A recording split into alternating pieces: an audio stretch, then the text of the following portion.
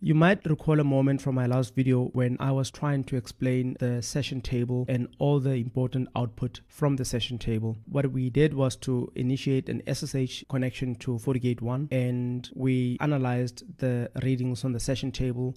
But where I got stuck and uh, the one thing that I couldn't explain was the policy ID. And so the best way to explain this is to demonstrate it again. So we're back on FortiGate 1 Let's display our session table again, filtered with only traffic going to the destination port 22.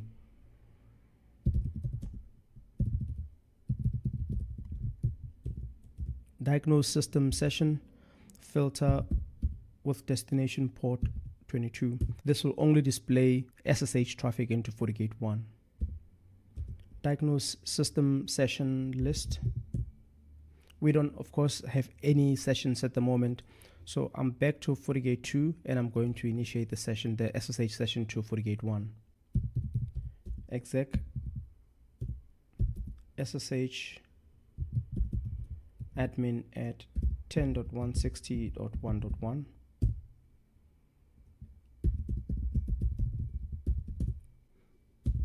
And now we're connected into the FortiGate 1.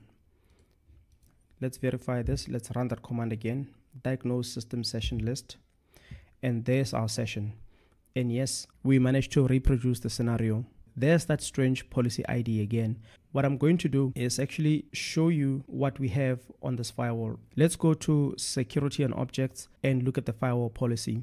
You'd recall from the previous lab that we only had one policy allowing all SSH and ICMP.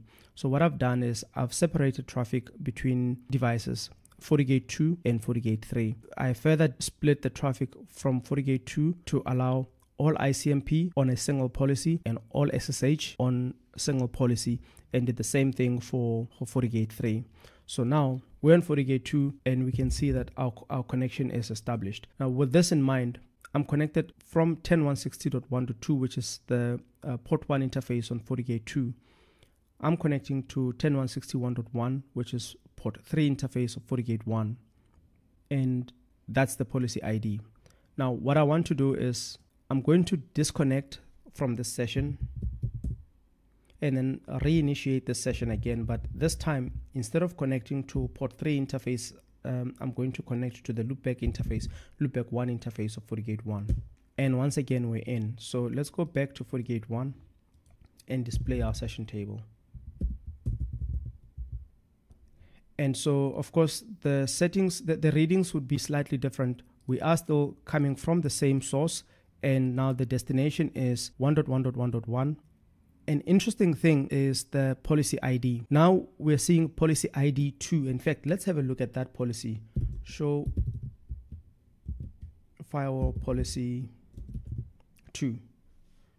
And of course, as we expected, it's a firewall policy on FortiGate 1 that permits SSH.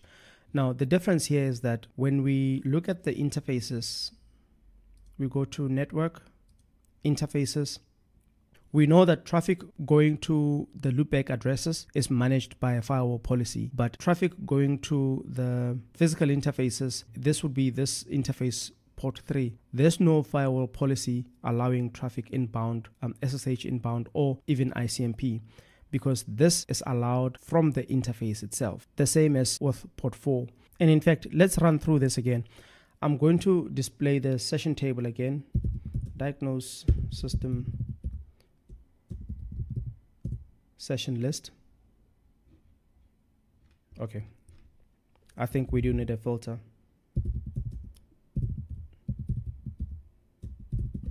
Diagnose system session filter with the destination port of 22 and then diagnose system session list.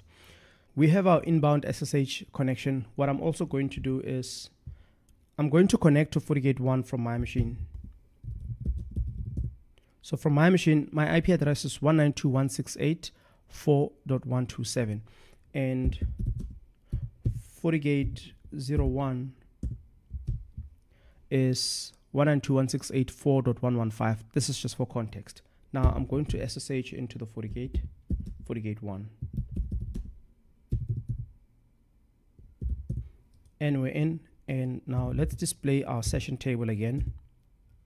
So now we have two sessions. We have a session from FortiGate 2, 10.161.2, and now we have another session, a new session from my machine.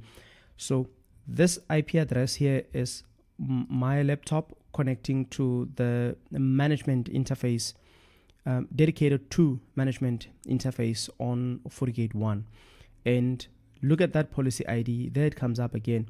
So the moral of the story here is that it looks like all traffic that is explicitly permitted by firewall policy would display a normal and um, expected policy ID but for traffic that is permitted by system settings like um, you know these tick boxes on interfaces to allow ping ssh or whatever. That has that has that does not go into an explicit firewall policy. It is a system config stored somewhere and it has this weird strange policy id and i think this is where the strange policy id came from. It was bothering me. I needed to find a way to explain it and now i do. And i'm glad i got to share this with you. And so yes i'm satisfied with this explanation if anybody has any reference to the document library, to anything, uh, any literature that explains this even further, I'd really appreciate a comment in the description. Until then, I'll catch you in the next video and thank you for supporting the channel.